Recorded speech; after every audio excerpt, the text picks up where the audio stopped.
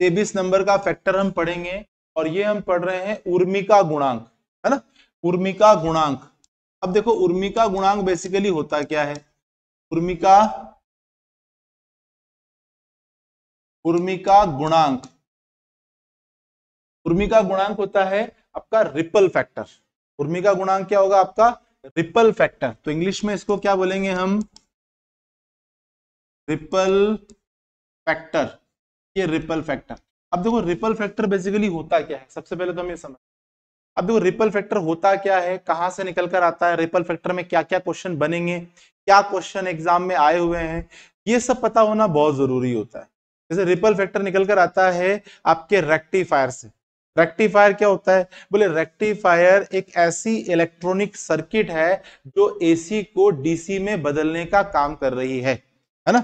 तो डायोड से निर्मित या फिर आपके एस से निर्मित एक ऐसा इलेक्ट्रॉनिक अरेंजमेंट एक ऐसा इलेक्ट्रॉनिक सर्किट जो कि एसी को डीसी में परिवर्तित करने का काम करता है रेक्टिफायर कहलाता है।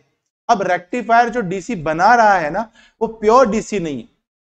वो आपके पल्सेटेड डीसी होता है। पल्सेटेड डीसी क्या होता है? बोले पल्सेटेड डीसी वो डीसी होता है जिसमें एसी और डीसी मिलकर आता है। ठीक है? रिपल फैक्टर क्या करता है? बोले, ये देखता है कि उस आउटपुट में कितना एसी है। उस आउटपुट में कितना एसी है है ना? इससे हमें ये पता लगता है। अभी रिपल फैक्टर का वैल्यू अगर ज़्यादा आ रहा है तो इसका मतलब जो भी आउटपुट आपको मिल रहा है, उसमें एसी कंपोनेंट का वैल्यू ज़्यादा आ रहा है। अगर रिपल फैक्टर का वैल्यू कम आ रहा है तो इसका मतलब ये है कि जो भी आउटपुट आपको मिल रहा है, उसमें एसी कंपोनेंट का वैल्यू जो है, वो कम आ रहा है। अभी बात समझ में आ गया? है ना? पहली चीज़ तो रिपल फैक्टर निकल के कहाँ से आया? बोले साहब रेक्टिफायर से। रेक्टिफायर में रिपल फैक्टर मतलब क्या?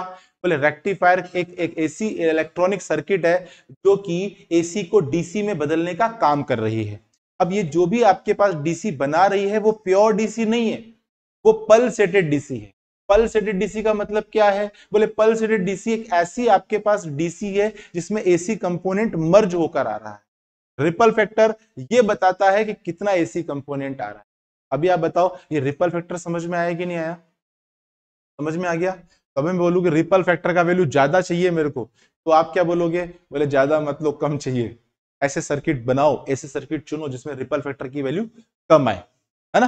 तो रिपल फैक्टर बेसिकली क्या होता है कि रेक्टिफायर के आउटपुट में उपस्थित एसी कंपोनेंट का आरएमएस मान और डीसी कंपोनेंट का अनुपात जो है वो रिपल फैक्टर कहलाता है। दोबारा बोल रहा हूँ रेक्टिफायर के आउटपुट में उपस्थित आपके एसी कंपोनेंट का आरएमएस मान और डीसी कंपोनेंट का अनुपात रिपल फैक्टर कहलाता है आरएफ कहलाता है। बात समझ में आ गई? लिखवा दूँ? चलो, लिखवाना क्या है? मैं लिखूँगा आप लोग ना? लिखवाने का काम तो शाम वाले बैच में होता है। अभी आप देखो रेक्टिफायर रेक्टिफायर के आउटपुट रेक्टिफायर के आउटपुट में उपस्थित उपस्थित एसी कंपोनेंट एसी कंपोनेंट का आरएमएस मान तथा डीसी कंपोनेंट कंपोनेंट का अनुपात. डीसी कंपोनेंट का अनुपात रिपल फैक्टर कहलाता है। अनुपात ripple ripple factor ripple factor this is उर्मिका गुणांक। उर्मिका गुणांक। कहलाता है। कहलाता है। ठीक है? ये आपके डेफिनेशन खत्म। मामला खत्म। तो रिपल फैक्टर बेसिकली क्या है? कि रेक्टिफायर के आउटपुट में उपस्थित जो आपके आउटपुट में उपस्थित एसी कंपोनेंट का आरएमएस मान और डीसी कंपोनेंट का अनुपात रिपल फैक्टर कहलाता है। अब देखो रिपल फैक्टर की डेफिनेशन क्लियर हो गई आपको। तो इसका मतलब ripple factor R F is equal to क्या होगा? RMS value of AC component क्या होगा आपके पास? RMS value value of AC component RMS value of AC component divided by आपके पास क्या? DC component divided by DC component ठीक है? ये होता है हमारा रिपल फैक्टर अच्छा देखो कॉलेज टाइम पर तो रिपल फैक्टर बड़ा खुल के पूरा डेरिवेशन वगैरह पढ़ते थे। प्रतियोगिता परीक्षाओं में आप इन सब दुविधाओं से दूर हो। यहाँ पर पता है, आंकड़ों पर बात की जाएगी, आपके डेरिवेशन पर बात नहीं की जाएगी। आपसे सिंपल क्वेश्चन इसके बाद पूछेगा। एक तो ये पूछेगा क्वेश्चन है ना? ये भी ऐसे नहीं पूछेगा। ये भी पता है, बड़े प्यारे नन्हे मुन्ने तरीके से पूछता है। Ripple factor is equal to ये आपके पास क्या होगा? आई ए सी बटा आई डी सी ठीक है? आई ए सी बटा आई डी सी ये आता है। या कभी कभार थोड़ा कंफ्यूज कर देता है है ना? कंफ्यूज कैसे करता है? आप देखो या तो ये चार विकल्पों में देखने को मिलेगा या फिर देखिएगा आई आर एम एस बटा I D C I R M S बटा आई डी सी बोलो दोनों एक ही चीज़ है कि नहीं है, है? तो कहीं ये लगा रखा कहीं ये लगा रखा। दोनों अगर ऑप्शन में दिख जाता है ना तो मैं अगर बहुत प्रिसाइज हूँ तो मैं I R M S divided by I D C पे जाओगे आप बताओ एसी कंपोनेंट की कौन सी वैल्यू आपको वहाँ से उठा के लानी है? आरएमएस वैल्यू तो इसका मतलब अगर ये विकल्प और ये विकल्प मेरे को मिल रहा है तो इसकी तरफ़ जाना है है ना? लेकिन कई किताबों ने क्या किया, दोनों विकल्प डाले हैं और उत्तर किसको माना है, इसको माना है। ठीक है? इसका मतलब वो प्रिसाइज नहीं है। ठीक है ना? वो कोर है। वो प्रिसाइज नहीं है, वो कोर है। कि मोटा मोटा हिसाब किताब। तो मोटा मोटा हिसाब किताब तो लगा लो यार आई एस सी बटा आई डी सी या तो आपको ये ऑप्शन में डालना ही नहीं चाहिए था। और अगर आपने ऑप्शन में इसको डाला है तो फिर इसका सम्मान भी करना ज़रूरी था। समझ रहे हो ना बात को? इसको वो सम्मान मिलना चाहिए ना। क्योंकि ये कह रहा है आईडीसी अब एसी करंट में तो सत्रह तरीके के मान होते हैं। क्या कोई से मान? लिखो एवरेज लिख दूँगा क्या ऊपर में? एसी का एवरेज वैल्यू भी तो होता है ना। लिख लूँगा क्या एवरेज वैल्यू देखो instantaneous value of alternating current भी होती है। लो, लिख लो आई आई लिख लो वहाँ पे। क्या आई आई लिख लोगे क्या तो ना तो आप आई आई लिख पा रहे हो, ना आपके पास क्या पीक लिख पा रहे हो, ना वहाँ पर आपके पास क्या एवरेज लिख पा रहे हो। आपको चाहिए कि आरएमएस वैल्यू चाहिए रूट मीन स्क्वायर वैल्यू चाहिए। और अगर वो पड़ा हुआ है तो फिर आप उसको दोगे। लेकिन उन, मुझे दिक्कत होती है यार कि यार ये दिया हुआ है और उत्तर, माला में उत्तर क्या दे दिया, ये दे दिया उसको। अब क्या करें? बच्चा आगे पूछ रहा गुरु जी आपने क्लास में लेक्चर में ये बात की थी? हाँ की थी।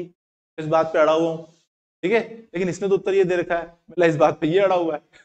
अब दोनों कुछ नहीं कर सकते। कितनी किताबों में जाके करेक्शन करोगे यार आप लोग? चलो, यहाँ तक क्लियर है? यहाँ तक बातें क्लियर है? है ना? चलो, इसके बाद देखो हम आगे बात करते हैं। इसके बाद जो अगला क्वेश्चन बनाया ना इन लोगों ने, वो क्वेश्चन क्या निकल कर आता है? वो आता है सिंपल आपसे बोलेगा रेक्टिफायर का नाम और पूछेगा रेक्टिफायर की वैल्यू दोबारा बोल रहा हूँ। रेक्टिफायर का नाम और रेक्टिफायर की वैल्यू मतलब रिपल फैक्टर की वैल्यू पूछेगा, है ना? तो अभी देखना, यहाँ से आपके पास क्या है? मैं लिख रहा हूँ रेक्टिफायर दिष्टकारी बोलते हैं इसको हिंदी में। दिष्टकारी। दिष्टकारी। और उस दिष्टकारी के रेस्पेक्ट में रिपल फैक्टर का मान। रिपल फैक्टर का वैल्यू जो है वो पूछता है। ये सीधा सीधा प्रश्न निकल कर आता है आपका। ठीक है? सीधा सीधा प्रश्न निकल कर आता है। यहाँ से इसका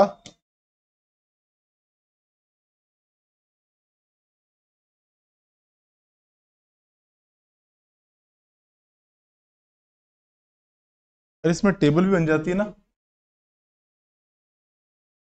छोड़ो यार, टेबल बनाई दी। आप इधर देखो, सबसे पहले हम बात करते हैं तो आपसे पूछेगा हाफ़ वेव रेक्टिफायर का ripple factor half wave rectifier अच्छा रेक्टिफायर का क्लास अभी तक रेक्टिफायर नहीं पढ़ाया आपने, है ना? थोड़ी दिक्कत हो सकती है कि यार रेक्टिफायर तो पढ़ाया नहीं इन्होंने रेक्टिफायर की वैल्यू लिखा दी इन्होंने। तो हम फैक्टर पढ़ने आए हैं और कॉलेज टाइम पे आपने रेक्टिफायर पढ़ा होगा। रेक्टिफायर देखो क्या होते हैं, एक तो हाफ़ वेव रेक्टिफायर होता है, एक आपके फुल वेव रेक्टिफायर होता है, एक ब्रिज रेक्टिफायर होता है, ठीक ना? एक सेंटर टैप्ड आपके पास क्या है रेक्टिफायर होता है। इसके अलावा थ्री फ़ेज़ के रेक्टिफायर भी होते हैं। थ्री फ़ेज़ में भी वो हाफ़ वेव रेक्टिफायर और फुल वेव रेक्टिफायर चलता है एज इट इज़ चलता है। ठीक है ना? अभी हम बात करते हैं हाफ़ वेव रेक्टिफायर को हिंदी में कहते हैं अर्ध तरंग दृष्टकारी। फुल फुल वेव रेक्टिफायर को हम हिंदी में कहते हैं पूर्ण तरंग दृष्टकारी, है ना? और बाकी सेतु दृष्टकारी ब्रिज रेक्टिफायर जो है वो सेतु दृष्टकारी होता है। ठीक है? तो एक आपके हाफ़ वेव रेक्टिफायर का रिपल फैक्टर आपको पता होना चाहिए और ये होता है आपके पास वन पॉइंट आपके two one one point two one होता है। आज इस चीज़ को ऑब्ज़र्व करना कि फैक्टर की वैल्यू लगातार कम होगी। जैसे जैसे मैं सर्किट एनहांस करता रहूँगा सर्किट की क्वालिटी बढ़ाता रहूँगा। हाफ़ वेव रेक्टिफायर वो शुरुआती रेक्टिफायर था जब हम रेक्टिफायर के बारे में सीख ही रहे थे। फिर हमें पता लगा कि भाई, ये पूरी तरीके से रेक्टिफाई नहीं करता, ये केवल हाफ़ वेव को ही रेक्टिफायर करता है, बाकी की हाफ़ को छोड़ देता है। मेरे को चाहिए कि दोनों वेव जो है मेरी रेक्टिफाई होके मुझे डीसी मिले। तो फिर हमने बात की full wave rectifier this is full wave rectifier ये full wave rectifier centre tapped rectifier पता आपको? तो फुल वेव रेक्टिफायर या फिर इसको centre tapped full wave rectifier भी बोल सकते हो आप, है ना? और इसका मान होता है 0.48 0.48 आएगा या फिर आंकड़ा हो सकता है 0.482 आ जाए, है ना? तो ध्यान रख लेना आपके, ये आपके। इसके बाद होता है ब्रिज रेक्टिफायर ब्रिज रेक्टिफायर होता है सेतु दिष्टकारी। तो सेतु दिष्टकारी का रिपल फैक्टर जो है, वो भी सेम होगा 0.482 ठीक है? आप बताओ, ये कम हुआ कि नहीं हुआ? कम हुआ? अब इस कम होने से आप क्या समझ रहे हो? आपका समझना बहुत ज़रूरी है। अगर आप इनको अंक समझोगे ना तो तुम्हारी छाती पे बैठ जाएँगे और मुँह दलेंगे हाँ आंकड़े हैं ये। अगर आपने इनको आंकड़े समझा, लेकिन अगर मान लो आप इन आंकड़ों को महसूस कर पा रहे हो यार ये आंकड़े जो कम हो रहे हैं ना, ये बेसिकली मेरे रेक्टिफायर सर्किट में एसी कंपोनेंट का मान कम हो रहा है और वहाँ प्योर डीसी मेरे को ज़्यादा मिल रही है। तो जब ये वैल्यू कम होगा, देखो ऊपर की तरफ़ क्या है, आप देखो जो रिपल फैक्टर का फॉर्मूला है ना, इधर बगल में लिखते हैं। Ripple factor is equal to I A C बटा आई डी सी आप खुद सोचो, ये फैक्टर आपको बड़ा करना है तो इसका वैल्यू जब ज़्यादा होगा तो ये फैक्टर का वैल्यू ऑटोमेटिकली ज़्यादा आएगा कि नहीं आएगा? लेकिन अगर ये फैक्टर का वैल्यू कम हो रहा है तो इसका मतलब ये वैल्यू या तो बढ़ रहा है, इसलिए मान कम आ रहा है, या फिर ये वैल्यू आपके पास घट रहा है। दोनों बातें एक ही है। क्योंकि हिस्सा तो आप एक ही कर रहे हो ना, उदाहरण के तौर पर ये आपके पास पेन है। अभी मैं बीच में से कर दूँगा, बराबर बराबर। अगर मैं इधर कर दूँगा तो ये हिस्सा बड़ा, ये हिस्सा छोटा। मैं इधर कर दूँगा तो ये हिस्सा और छोटा और ये हिस्सा और बड़ा हो गया। तो वैल्यू तो इतनी ही है। जो उसने डीसी आउटपुट दिया है, वो तो फिक्स दिया है।